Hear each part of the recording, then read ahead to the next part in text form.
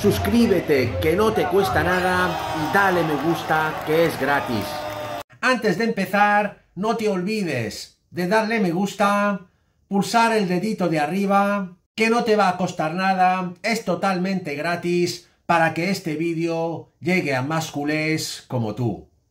Muy buenas amigos culés, ¿qué tal estamos? Voy a empezar este vídeo, como no, hablando del partido de ayer que hemos jugado en San Mamés contra Athletic Club, en cuartos de final de la Copa de Rey, y que hemos perdido por cuatro goles a dos. Pues bien, como sabemos, el Athletic Club se nos pasó por encima, nos han metido cuatro goles, han podido ser más, al final de la prórroga, y aunque duele decirlo, pues han merecido pasar. Esto es lo que ha dicho Pedri después de la humillación en San Mamés. Brutal autocrítica del Canario. Y no como Xavi. Vamos a escucharlo. Al final es verdad que, que, no ha podido ser y tenemos que hacer autocrítica, sobre todo a nivel defensivo, que, que, nos están marcando muchos goles este año y el año pasado fue lo que nos dio la, la liga y bueno, creo que, hay que hacer autocrítica, pero ya cambiar el chip. Eh, Pedri, en directo para Radio Cero. Eh, lo positivo es que hay mucha gente joven, pero lo negativo es que posiblemente se ha escapado el título que teníais más cerca y la temporada se complica mucho, ¿no? Bueno, eh, se complica por, por una parte sí porque era un título que, que queríamos mucho y, y, era pues que estaba ahí casi y, bueno, es verdad que, que, era un título que, que, teníamos en mente pues llegar hasta la final y no, no ha podido ser, pero tenemos que, que centrarnos ya en la liga y, i en la, en la Champions. Pedri, creus que la plantilla és massa curta perquè el motiu s'ha de tirar dels joves, però creus que alhora pot ser una cosa positiva l'esforç i uh, la bona nota que estan tenint els joves quan se li han donat oportunitats? Sí, yo creo que, que los jóvenes siempre aportan eh, frescura, eh, creo que, que hoy eh, los jóvenes nos han aportado mucha frescura, eh, dinamismo, eh, creo que juegan como, como si fuesen veteranos, la verdad que, que, no les tiembla el pulso y bueno, creo que todo lo que salga de, de la masía es bueno. Hemos visto a Xavi muy enfadado, sobre todo en, al inicio de primera parte y de segunda, que es cuando le vuelven a marcar al equipo eh, goles. Se ha enfadado muchísimo, en las imágenes lo hemos visto. ¿Os lo ha comentado también él? Sí, está claro que es una cosa que, que tenemos que mejorar. Nos han marcado muchos goles eh, a principio de, de, las partes y creo que, que no, no lo podemos permitir. Pues bien, después de escuchar esta tremenda autocrítica de Pedri, después de la humillación contra el Athletic Club, vamos ahora con la primera Entrevista de Xavi tras finalizar el partido de ayer. Vais a flipar. Vamos a por ello. Xavi, eh, una noche que las cosas no han acabado de salir bien y se escapa otro título. Sí, pues así es. Lo hemos intentado. Creo que hemos competido muy bien ante un gran equipo donde en su casa son muy fuertes. Cuando, cuando ya dije que el sorteo habíamos tenido desgracia porque partido único en San Mamés siempre es muy difícil. Nos hemos puesto por delante en el marcador cuando cuando hemos encajado el primer gol. Han habido muchos momentos, muchas fases del partido e incluso hemos tenido el, el gol de la victoria eh, en la última de, de Lamin, ¿no? antes de la, de la prórroga. Ellos muy intensos, muy agresivos, eh, difícil, difícil. Pero bueno, a, a rehacernos ya a partir de, del sábado, a pensar la liga, la Champions, a competirla. Pero bueno, eh, podemos estar orgullosos, por lo menos lo hemos, lo hemos intentado hasta, hasta el final. ¿no? O sea que hasta qué punto ha vuelto a condicionar el partido, encajar otra vez un gol tan pronto en la primera parte, encajar también justo al inicio de la segunda. No sé si son momentos de falta de concentración, de que el equipo no entra del todo concentrado a los partidos.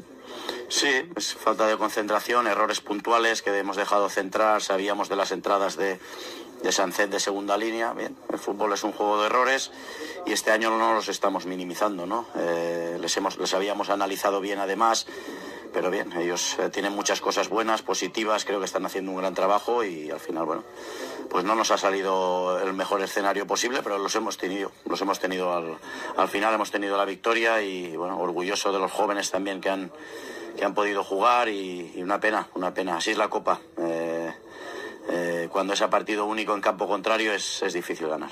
No sé si has hablado con Lamin eh, de esas dos ocasiones que ha fallado. Te hemos visto cuando, hablar con él, animarle, ¿no? ¿Cómo, sí. ¿Cómo, lo has visto? Bueno, estaba desanimado porque había fallado esa ocasión, pero la genera él. La genera él. Eh, un robo de balón, ha hecho un golazo. Bueno, es un chaval de 16 años. Hoy también juega Héctor Ford, juega Cubarsí y no hemos podido meter más porque por el número de futbolistas, ¿no? Pues más de 25. Así que una pena. Una pena, lo hemos intentado, pero nos vamos con la cabeza alta, porque por lo menos hemos sentido orgullo de, de competir con, con, chicos jóvenes. y cómo queda el Barça y cómo queda Xavi después de, esta eliminatoria, de esta eliminación y otro título que se pierde. Bueno, pues a intentarlo en la Liga, en la Champions y bueno, estoy tranquilo. Estoy tranquilo sabiendo que queda temporada, que quedan los títulos quizá más, más importantes y los lucharemos como, como hemos hecho hoy. Gracias. Es que ha apuntado todo en una hoja para que no se me olvide nada de esta barbaridad que acabamos de escuchar de Xavi. Primero dice, mala suerte, nos ha tocado un rival difícil. O sea, esto me recuerda a la rueda de prensa previa al partido contra el Manchester United, el peor Manchester United de la historia. Empezó a llorar antes.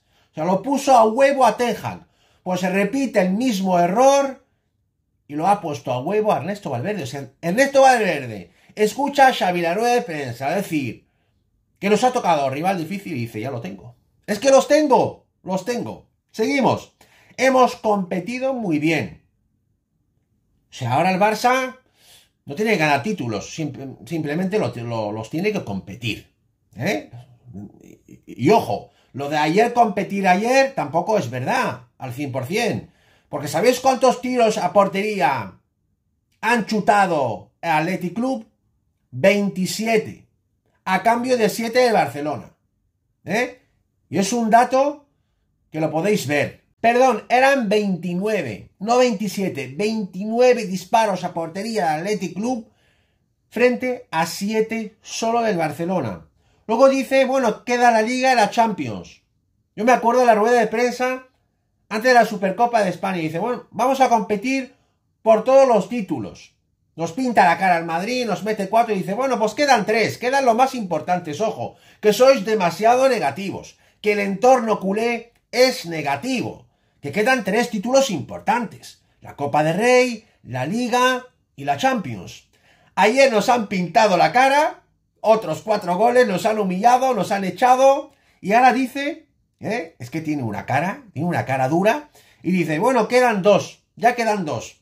¿Eh? Y si seguimos con él, el Nápoles nos pinta la cara, nos echa y dirá, bueno, queda la liga.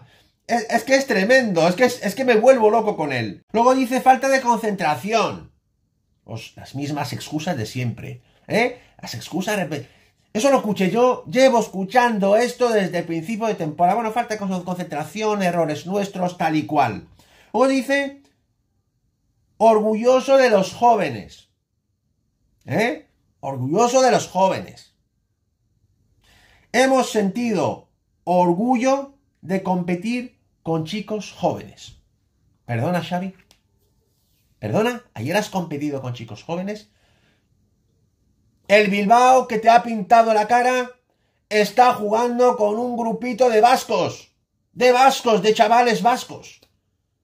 De vascos, del país vasco. ¿Eh? No estamos hablando de otra zona de España ni de... Del país vasco. Están jugando con chavales vascos que te han pintado la cara, tienes la cara tan dura de salir a la de prensa y decir, estoy orgulloso ¿eh? de poner los jóvenes. ¿Qué va a decir Valverde jugando con un grupito de vascos? Que te ha pintado la cara. Y tampoco era verdad, era mentira. O sea, no para de mentir este tío. O sea, miente nuestras putas caras. Que Araujo no es canterano. Que Pedri no es canterano del Barça. Y sin hablar de Frenkie de Jong, Gundogan, Lewandowski, Koundé, etc. Atención, bombazo de última hora.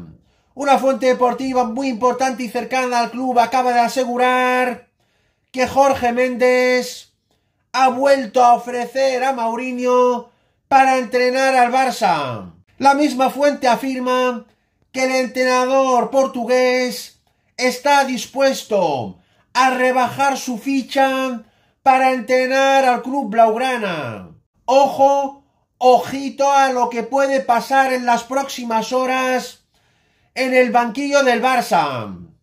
Estaremos atentos a los acontecimientos. Esta ha sido mi grandísima noticia de hoy, amigos culés. No os olvidéis suscribirse a mi canal, que no os cuesta nada. Pulsar un like como siempre. Y dejarme comentarios para cambiar opiniones. Muchas gracias. Forza Barça por siempre. Vamos a levantar esto. Y nos vemos muy pronto en mi próximo vídeo. ¡Vamos!